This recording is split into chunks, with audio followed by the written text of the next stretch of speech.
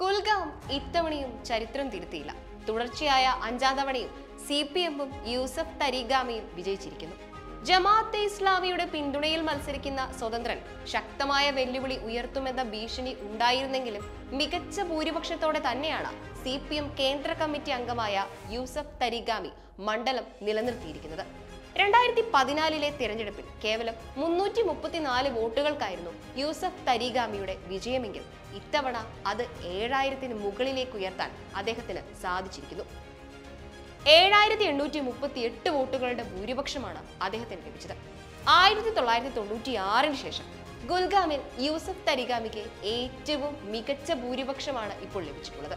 കാശ്മീരിൽ തന്നെ ജമാഅത്ത് ഇസ്ലാമിക്ക് ഏറ്റവും ശക്തമായ സ്വാധീനമുള്ള മണ്ഡലമായിട്ട് കൂടി യൂസഫ് തരീഗാമിക്ക് അവർ ഉയർത്തിയ വെല്ലുവിളിയെ മറികടക്കാൻ സാധിച്ചുവെന്നതാണ് വിജയത്തിന്റെ തിളക്കം കൂട്ടുന്നത്. ജമാഅത്തെ പിന്തുണയിൽ സ്ഥാനാർത്ഥി എത്തിയതോടെ വലിയ തിരിച്ചടി നേരിടേണ്ടി വന്നത് പി ഡി പിക്കാണ്.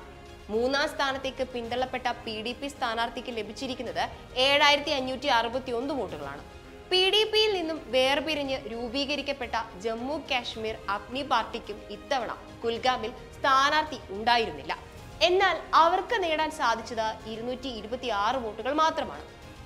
ആർട്ടിക്കിൾ മുന്നൂറ്റി എഴുപത് റദ്ദാക്കിയതടക്കമുള്ള വിഷയങ്ങളിൽ ശക്തമായി പ്രതിഷേധിച്ച കശ്മീരിൽ നിന്നുള്ള നേതാക്കളിൽ ഒരാളാണ് യൂസഫ് തരീഖാമി ഇത്തവണ നാഷണൽ കോൺഫറൻസ് കോൺഗ്രസ് നേതൃത്വത്തിന്റെ ഭാഗമായായിരുന്നു അദ്ദേഹം മത്സരിച്ചത്. ഇതടക്കമുള്ള ഘടകങ്ങൾ അദ്ദേഹത്തിന്റെ വിജയത്തിൽ നിർണായകമാവുകയും ചെയ്തിട്ടുണ്ട്. ആയിരത്തി തൊള്ളായിരത്തി എൺപത്തി മൂന്നിലെയും എൺപത്തി ഏഴിലെയും തിരഞ്ഞെടുപ്പിൽ യൂസഫ് തരീഖാമി കുൽഗാമിൽ നിന്നും മത്സരിച്ചെങ്കിലും വിജയിക്കാൻ സാധിച്ചിരുന്നില്ല.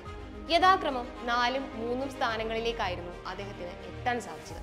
എന്നാൽ ആയിരത്തി തൊള്ളായിരത്തി തൊണ്ണൂറ്റി ആറിൽ ആദ്യമായി കുൽഗാമി യൂസഫ് തരീഗാമി ചെങ്കുടി ഉയർത്തി രണ്ടായിരത്തി രണ്ട് രണ്ടായിരത്തി എട്ട് രണ്ടായിരത്തി പതിനാല് തിരഞ്ഞെടുപ്പുകളിലും ഒടുവിൽ ഇത്തവണയും അദ്ദേഹം വിജയം ആവർത്തിച്ചിരിക്കുകയാണ്.